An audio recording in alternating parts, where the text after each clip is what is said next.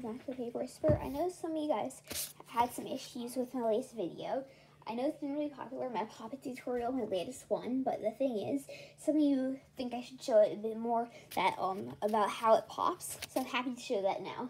I know all you guys also noticed that I didn't have comments on my latest video. I had I forgot about that, so I did that real quick, and now what I want to do is show you how it pops, which I, think, you'll find pretty cool. So first things first, you got to open it up. So push your finger through the bottom.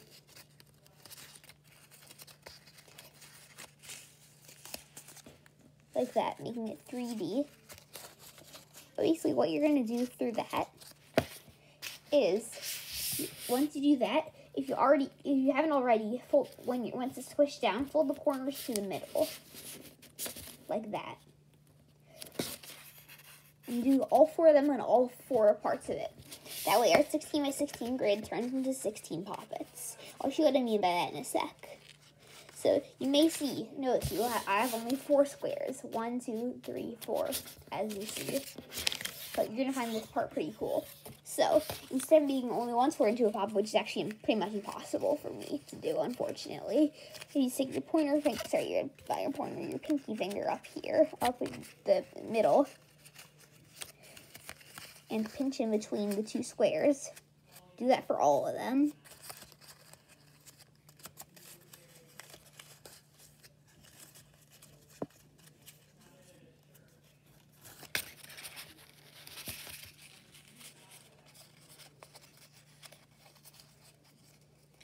So that they're all 3D again. Now, how you're going to pop it. Sorry I didn't explain it well in the last video. It's kind of, like I, I'm not sure I told you, but I was in a bit of a rush. I had dinner soon and my dad called me. It was hard. So even like you didn't. So what we're gonna do is you're gonna basically put your finger under and you're I'm gonna zoom in as much as I can. What you're gonna do is you're gonna take this, push it down, and that's the bot the so once I push it as far down as it goes, let's repeat for the other corners if you want.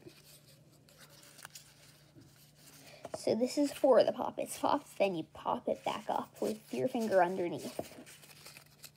I'll show you again. So, so you have, let me zoom out though. So I have this. I put my finger under.